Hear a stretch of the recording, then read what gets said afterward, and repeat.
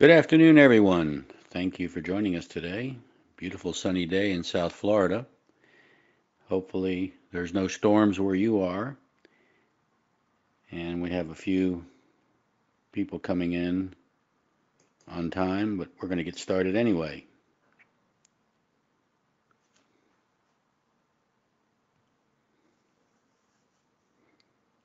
My name is Michael Price, and I'll be your presenter for today's 30 minute information packed webcast.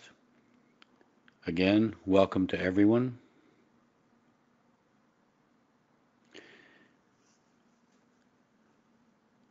For the record, those of you who have not attended one of our webcasts before, as I said, my name is Michael Price. I am the oldest GSA consultant alive.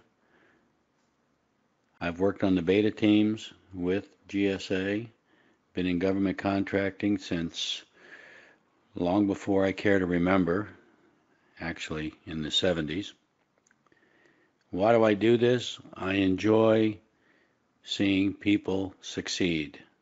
And I was extremely fortunate my first time out of the proverbial chute before we had the internet, fax machines were still new, there was no email, and we had to do things the old fashioned way. You pick up the phone and call someone. And I made one phone call, and for the most part, that changed my life forever. I called Michael Dell August 12, 1986, and I think you all know the end of that story. So, to sum up this introduction, experience matters and I thank you for your trust and absorbing the information that I'm going to give you today. What can you expect out of today's agenda? As you know, we're going to discuss woman owned small business, which is very neglected, unfortunately, and I'm going to put an end to that today. We have our first question. Roberta, thank you. Will the webinar be available on your website? Yes, ma'am. Hopefully, if I don't make any mistakes, it'll be up within an hour. And while we're on the subject, in your control panel, under the view option, you should see a check mark next to the word handouts. And if you scroll down to the bottom of your control panel, You'll be able to download today's slides, which are already there and waiting for you. There was so much information today, and we're restricted to the number of handouts we can make available. I chose to only give you the slides, but there are numerous links throughout those slides which will get you the full context and further explanation of exactly what we're discussing today. We're going to talk about Woman owned small business certification, how to register. We already know why it benefits you. That's why you're here. And something that we discussed in the 8A webcast two, three weeks ago how to get funding for your business. We never have enough money. I don't care how rich you are, there's just never enough money. But I learned one thing from a very wise man years ago. If you start a business to make money, you will fail. If you start a business to help people, you will become rich, and a lot of people will be helped. What is woman owned small business? Well, as the name suggests, that's pretty simple. The good news is the government has stepped in and made it a priority that 5% of all government obligated dollars for procurement be allocated towards woman owned small businesses. This all really came about in 2011. The SBA stepped in and mandated that we had to start taking advantage and giving an advantage to two sectors woman owned small business and economically disadvantaged woman owned small businesses. That one I didn't know about. So I'm a little behind the times sometimes. What are the benefits?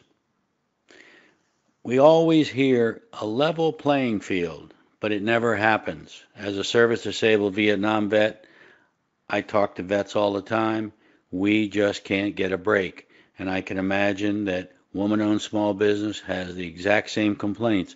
We can't get a break. That needs to change. The key is, and the caveat is the industries that are involved. There's a link there in your slides for the eligible industries. Don't panic, it's going to cover almost everything. The key is to join the contracting program as quickly as possible. In the next few slides, I'm going to show you exactly how to do it, where to go, and get it done. The requirements. Well, it's pretty much the same with veteran-owned, service-disabled veteran-owned, hub zone, 8A, Native American. Pick any of the, the classes of requirement to be able to take advantage of the set-asides. It has to be 51% owned and controlled by one or more women. So if you have a partner and you two are 50-50, that's 100%, even though it shows 50-50 or 49-51, however you want to do the math. But if there are two women, three women controlling the company, you're good to go. You have to be small.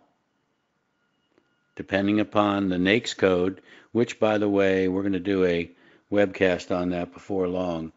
NAICS codes are going away.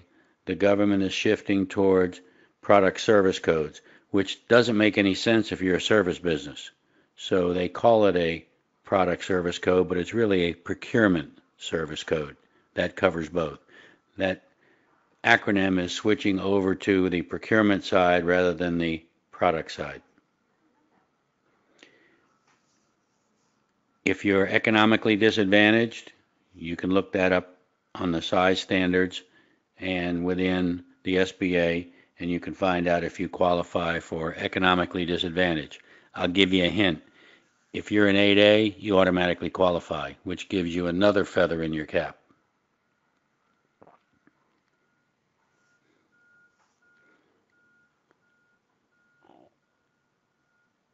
In order to qualify, I'd like to let you read it really quick before I run through it. Let's go down to bullet number two. Each, if you have more than one woman controlling the business, each must have a net worth less than $750,000. Well, I could probably retire on 750,000. Your adjusted gross income 350 or less. I believe with 8A it's 250 or less. So you may run into a little bit of a hurdle if you are an 8A and you want to qualify as a woman-owned small business. If you can keep that around 250, you're good to go. If I had $6 million in assets, we wouldn't be having this conversation today. I guarantee it. Before I go any further, if you have any questions at all, please feel free to type them in. It'll stop me. I'll answer the question because chances are you had the question based on something you were reading or something I was saying. So let's keep it fresh in your mind and my mind and get whatever question you've got answered right away. You have to prove eligibility. Now, what you're going to see in the next couple of slides is there's two ways to certify. You can self-certify and you can have the government certify. Both of them are acceptable. However, it's one thing to have a learner's permit, it's another thing to have a driver's license. I think you get the point I'm trying to make. Contracting officers are looking for more woman-owned businesses to do business with. But you need to educate yourself. You all have a SAM record. That's the reason you're here. Now, I need to do a quick plug for our next webcast, which will be all about the GSA SmartPay program. It's not just for GSA contracts. GSA manages the program for accepting credit cards. Now, I like doing statistical analysis whenever I get a moment. which is not very often. Almost 65% of all companies registered on SAM do not accept credit cards. I get complaints all the time. I'm registered on SAM. I can't get any business. You don't have a contract vehicle. You can't get a contract vehicle unless you accept credit cards. So there's a problem there. So you must be current on SAM. Make sure that now you start adding your PSC codes. And a lot of times you can find those based on whichever solicitation you're looking at, whether you're doing open market bidding, whether you've got a GSA contract, a VA contract, or you want to get either one, the PSCs are going to become the most important part of your SAM registration. It also says that you can self certify. I still suggest you go through the process and get certified by the SBA.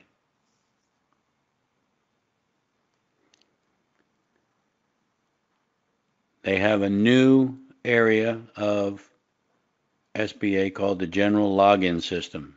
It's a repository where all of you are going to end up sitting as part of woman owned certification. They also believe that that determines whether or not we're dealing with honest contractors. With all the Google alerts and all the press that's been coming out of so and so got convicted of such and such and what's her name protested what's his name and all the other problems that are going on in the procurement community there is so much fraud out there they just figure the government's too big to catch them they have a new thing called computers. They will catch you. So if you're running an honest business, you have nothing to worry about. Continue doing a good job, give excellent service, and your business will thrive and grow. Here's a quick checklist. And those of you that can read the bottom left corner, you see we're on slide number 11 of 19. I'm trying to keep them short trying to keep us at the 30 minute mark. And the only reason I will go over is because of questions. So if you've got them, let me have them. We all know about SAM. Go into the GLS system, take a look at it, register, make sure everything's up to date. And nine times out of ten, they're going to read your SAM record anyway. So make sure that is always up to date. My suggestion, if you're within 90 days of the anniversary expiration of your SAM record, update it. Doesn't matter if you update it every month. There are people that do that. I see it all the time. The government sends me the updates every single morning, and I see those who have expired, those who are back on the on the radar, and those who have just updated.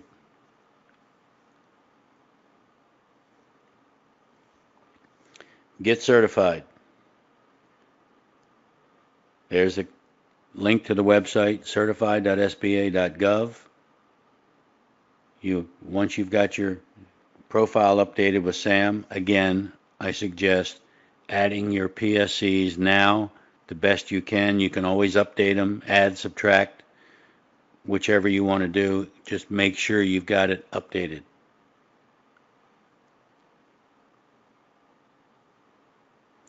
You are going to need to update your certification every year. My suggestion would be keep it around the same time you do SAM. Self-certification. You can also self-certify your business structure if you're already participating in any SBA program, 8A, whichever. 8A used to be the king. 1996, the SBA and GSA got together and said, why don't we take all of these groups and allow the agencies to get their procurement credits, small business credits, by using GSA, and that's why it all rolled right into the GSA contract and VA contract later on, as opposed to waiting three months to try to do a SBA 8A sole source contract. It just didn't work out. I've done them many, many times in the 80s, and it's brutal. There's also a preparation checklist for you, so you know exactly what you're going to need. While you're in that SBA site, you can also switch over. I believe the left panel will take you over to 8A, HubZone, all of the various entities that can qualify under SBA to get set aside contracts. Any questions so far? Don't be shy.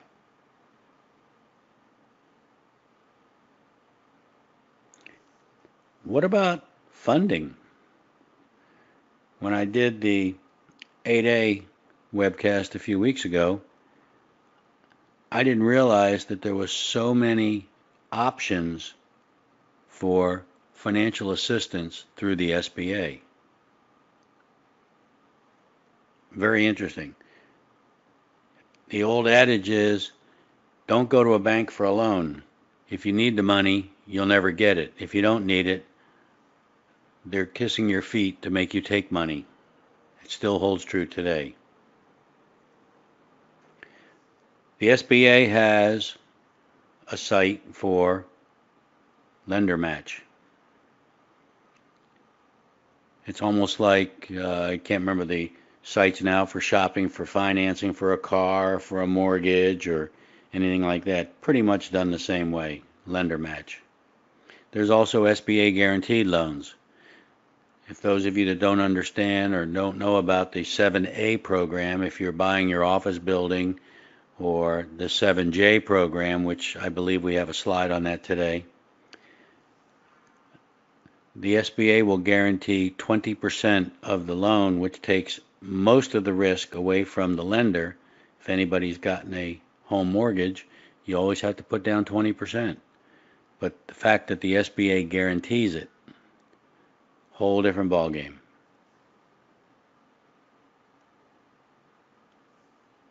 Small business investment companies. You don't hear much about them anymore. They're privately owned and managed. They have investors. But the good news is they're regulated by the government.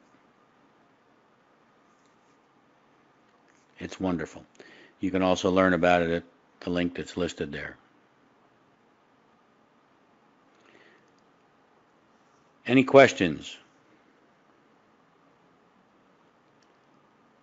I'll let you digest this slide very quickly. We're pretty much finished and going to be just about on time like I always want to be. Remember you can download the slides at any time from your handout section and the webcast will be available on the website hopefully within about an hour or so. Here's a private question that came in about GSA and VA. I get the same question pretty much every time. It's just worded differently.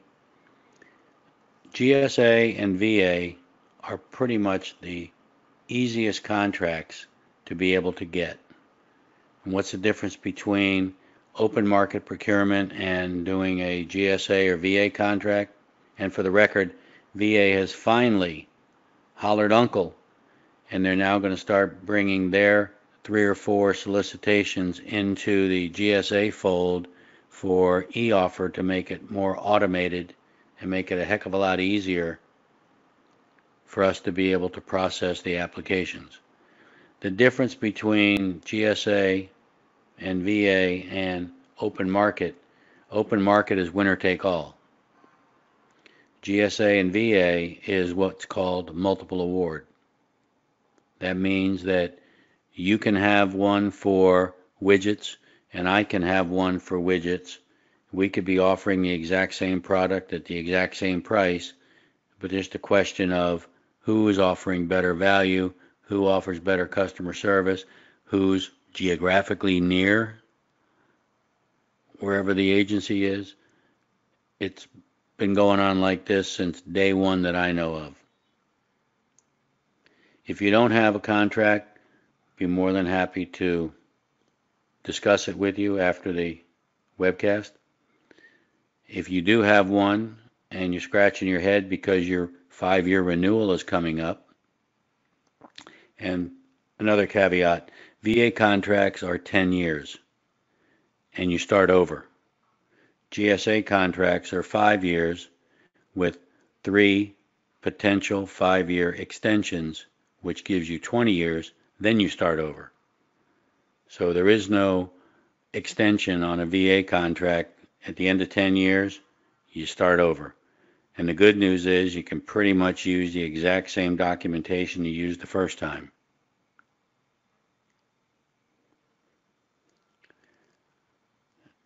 Hopefully that answers your question, Bill. Pretty much the same question, worded differently. What is a GWAC? Government-wide acquisition contract anything that's put out on FedBizOpps, those of you who attended the FBO webcast a few weeks back, you can go back to our website or on YouTube, either one, and view that, and you'll get a wealth of information. That is basically the winner take all. Navy Soup is one that comes to mind. Some of the other the networks with an X coming up. Uh, I mean, they're all there are multiple vendors in that, but that's because those contracts are so huge. Under GSA and VA, the government promises nothing as far as revenue. It's up to you to go out and generate the revenue. We provide our clients with numerous tools so they know exactly who to talk to. Roberta, thank you again. How do you go about accepting credit cards? Roberta, do me a favor. When we're finished here, please register for next week's webcast. But I'm going to tell you about it before we go because I've got a couple of uh, links here coming up. So if you need help managing your contract, we're available to help you. And the reason why you're looking at such low pricing is because I lost a bet. I was betting that nobody would look at such a low price and say, well, why? Because we normally charge quite a bit more. But it's summer and the codes are limited time codes, so take advantage of it if you can. Here's some links for you. Now, the link says, do I qualify for a GSA contract? If you're thinking about a VA contract, just put slash VA behind that We'll probably change the website to show it. If you're interested in possibly finding out more, you can use the Getting Started link and we can set up a free consultation for you. Why does experience matter? Take a look at what we've been doing, some of the folks we've represented. Tiny ones and huge ones our upcoming webinar schedule. Later this week, we're going to add five or six more to get it back fully populated again. And you can always look at our videos, which show you everything that we've done from today, uh, moving backwards. Roberta, to address your question, there is a link on our website. You'll see that in the next slide, which I might as well give you right now. If you go to the website, you'll see a uh, flashing yellow banner and click on that and I think they ask you three questions and Greg who will be our panelist uh, next week for uh, everything about credit cards. The links, Roberta, are in the slides that hopefully you've already downloaded in your handout section. If not, you can just peruse our website at the address shown there.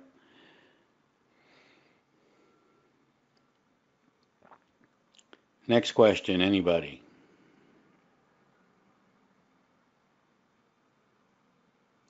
Well, for a change, we're going to finish a little early. And let me see, I got another one just popped in here. Let me look at it to see what, uh, if I can decipher it.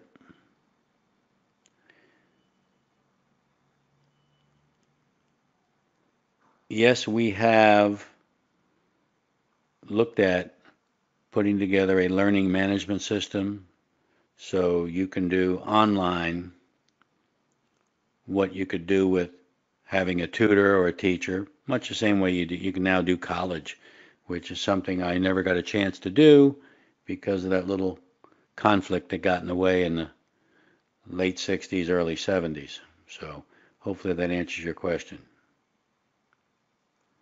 Thank you for those kind words, Steve.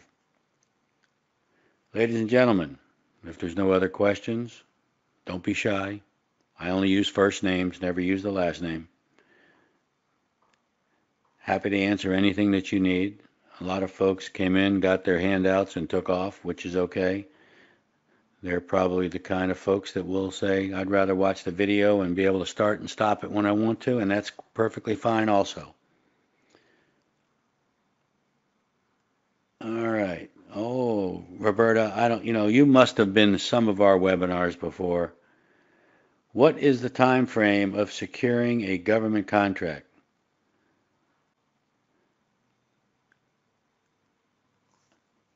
Oh, that was Cynthia.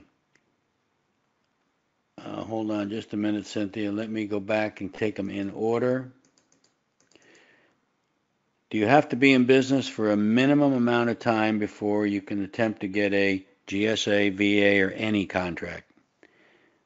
The answer is almost every single contract out there is two years, comma, asterisk.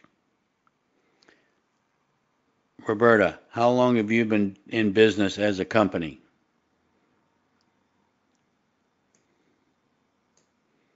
My guess is it's probably over two years. Let's assume you've only been in business a year. My next question to you is, how long have you been doing what you're doing? Now, that's kind of a nebulous question. However, let me explain. A few years back, I had a client that had been a IT consultant for 24 years. His accountant said, You really need to incorporate to protect yourself. And that was great, but he'd only been a LLC corporation.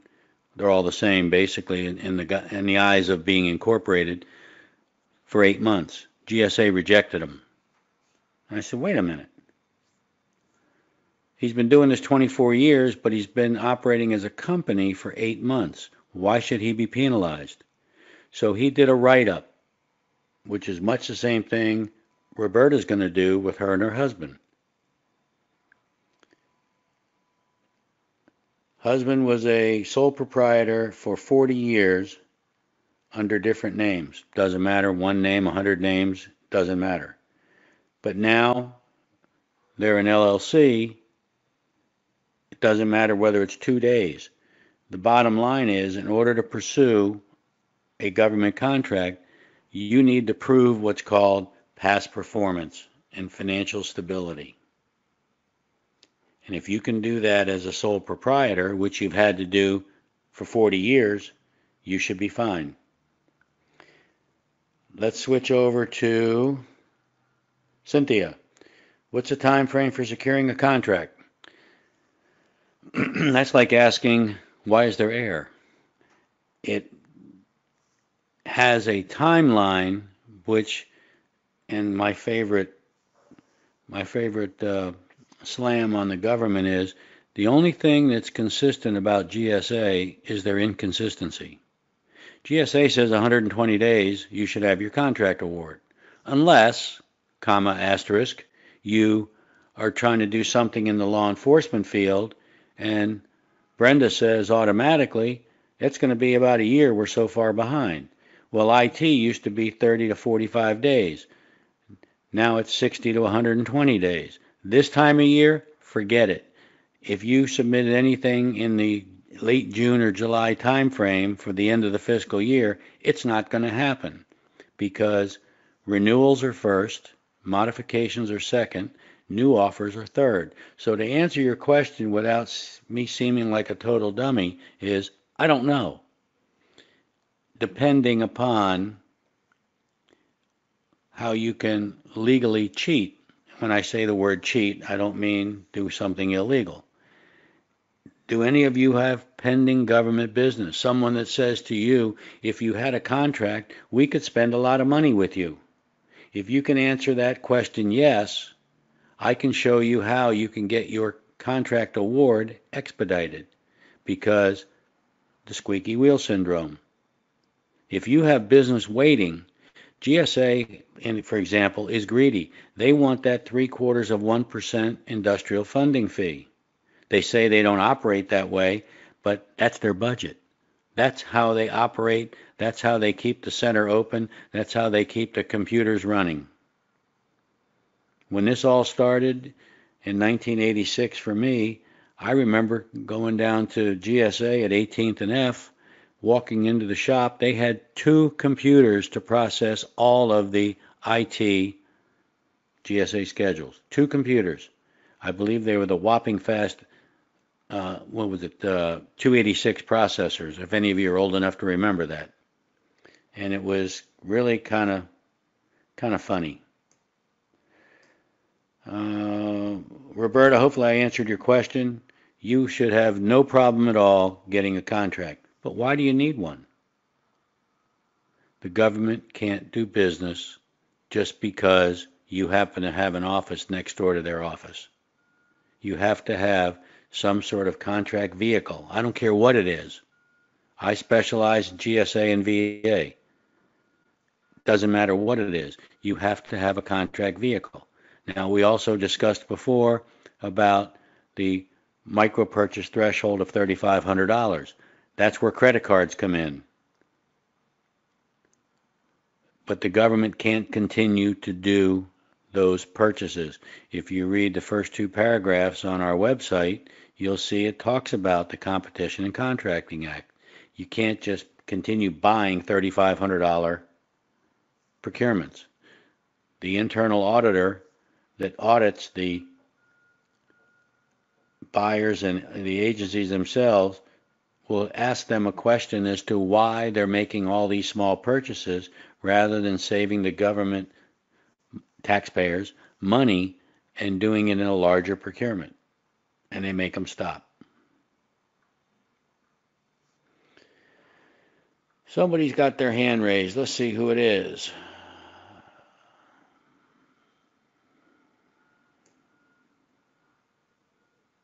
No, we don't see that. Okay, we're good to go there. I'm guessing that we are done here for the time being. I certainly appreciate everybody's time showing up today. I'm happy you're able to take 30 to 40 minutes out of your busy schedule. If you have any questions, I'll be available anytime today. And hopefully we can uh, find a re- resolution to whatever issue or problem you've got and get you set on the straight and narrow path to generating more revenue for your company, which gives everybody a better better life. Again, thank you so much for joining us, and we'll see you next week for everything you ever wanted to know about credit cards.